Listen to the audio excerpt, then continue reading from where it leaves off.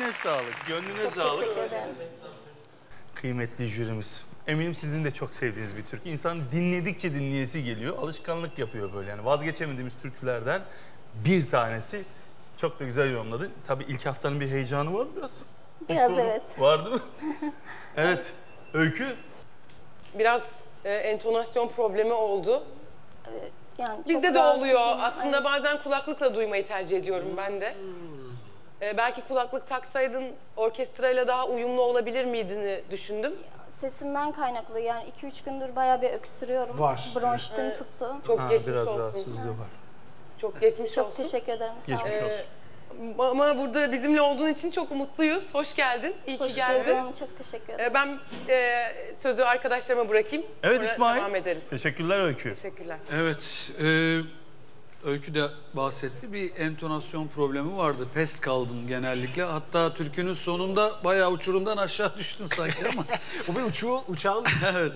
E, ya ilk haftanın heyecanı tabii, tabii, ki oluyor. Öykünün de dediği gibi e, hepimiz aynı şeyleri yaşıyoruz.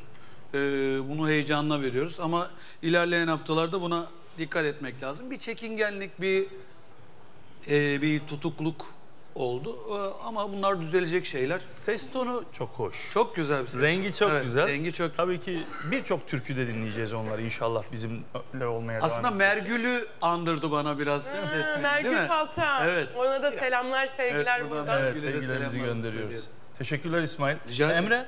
Ee, Elvin'cim ses rengin çok güzel. Özellikle alt seslerinde farklı. böyle koyu güzel bir ses rengin var.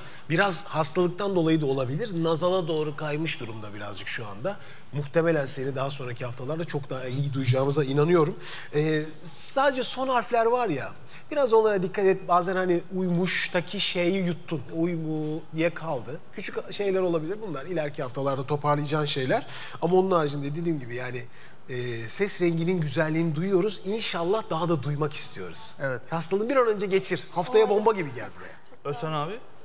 Daha ilk başta kendisi de farkında. E, heyecandan çünkü e, e, ben elinin ayağının titrediğini buradan hissettim.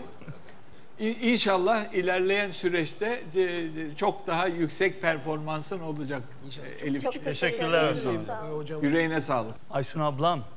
E, hastayım dedi. E, Evet.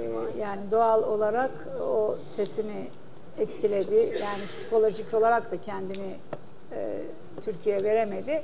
Yani sesi kontrol edemedi şeyi sevgili Elvin.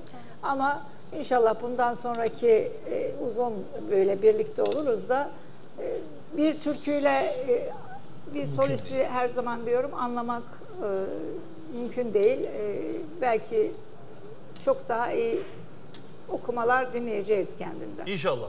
Teşekkür ederiz Aysun hocam ve kıymetli jüri. Teşekkürler. Ben evet teşekkür ederim. alkışlıyoruz Elvin Kavar. Arkadaşlarının yanına gidiyoruz. Teşekkürler Elvin.